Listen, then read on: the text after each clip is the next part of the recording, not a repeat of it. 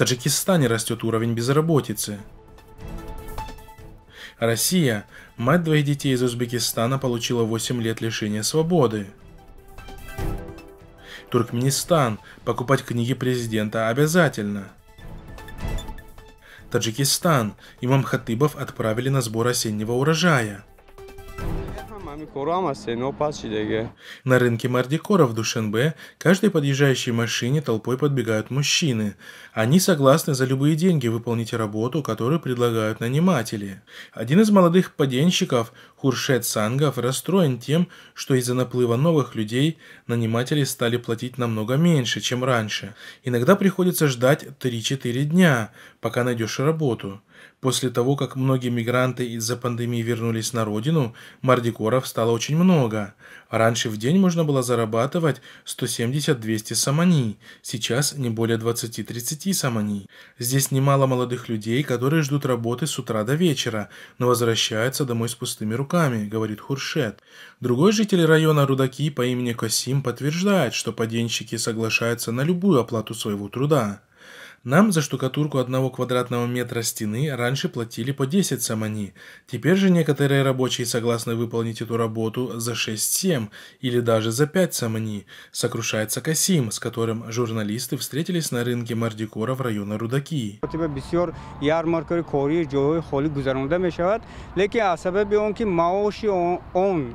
ба мардум қонекунанда нест ин ҳама вакансие ки дар бозори меҳнат пешниҳод карда мешавад ниҳоят гӯем талаботи кам дорад Ранее исследования международных финансовых организаций показали, что каждая четвертая семья в Таджикистане живет за счет денежных переводов своих родных из трудовой миграции. Приехала с Узбекистана в 2019 во Владивостоке 8 лет лишения свободы получила уроженка Узбекистана Махигул Примова по обвинению в содействии терроризму. Приговор женщине вынес суд во Владивостоке, где она жила около 9 лет, сообщает газета «Известия». По данным следствия, в 2012 году Махигул якобы перечислила 90 тысяч для неких террористов. У Махигул на свободе остались двое малолетних детей. Ранее адвокат Марат Ашимов предостерег мусульман от денежных переводов физическим лицам в благотворительных целях, поскольку они рискуют быть обвиненными в финансировании терроризма. В последнее время в России часто возбуждаются дела по аналогичному сценарию. По мнению правозащитников, такая практика очень удобна для российских спецслужб в демонстрации отчетности и имитации борьбы с так называемым терроризмом. Среди обвиненных по такому же сценарию журналист дагестанского издания «Черновик» Абдулмумин Гаджиев и предприниматель Кемал Тамбиев, которые полностью отвергают предъявленные им обвинения.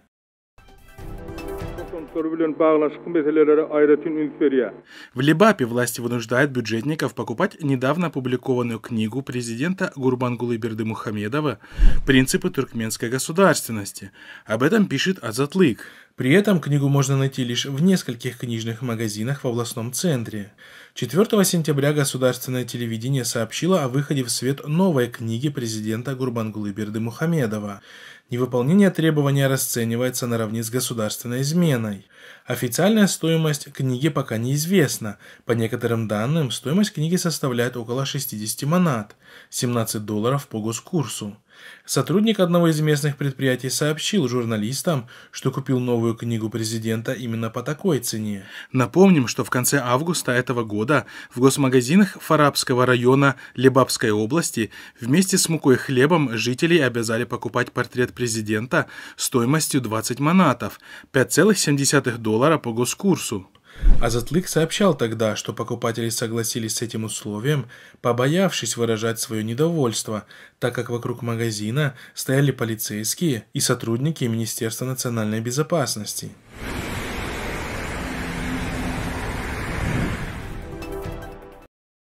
В понедельник, 14 сентября, пресс-секретарь Комитета по делам религии при правительстве Таджикистана Авшин Муким опубликовал в своем аккаунте в Фейсбуке четыре фотографии, на которых изображены имам Хатыбы, собирающие урожай.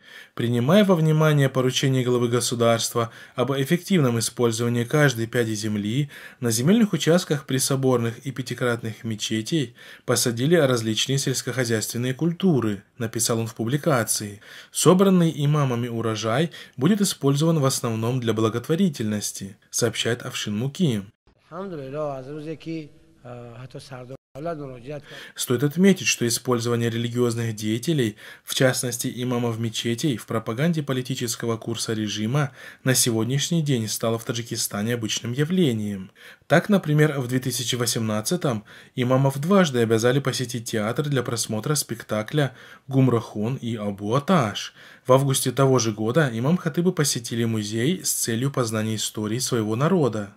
Священнослужители обязаны знать историю своей земли, древнюю культуру предков и понять, что познание законов мироздания помогло нашим пращурам пройти через горнило многих войн и катаклизмов, сохранить свой язык, культуру. Изучение собственных истоков помогает понять традиции и верования других народов, сообщал тогда Авшин Муким.